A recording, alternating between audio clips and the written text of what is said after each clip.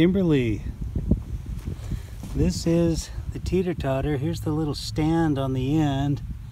It looks like it's about two by six on edge, half round on top.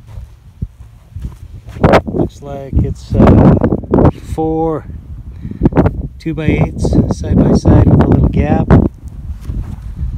Looks like I've got a couple of uh, looks like two by tens or something on edge half round on top for the pivot point. And then uh, down here two by eight on edge to kind of hold it on this end.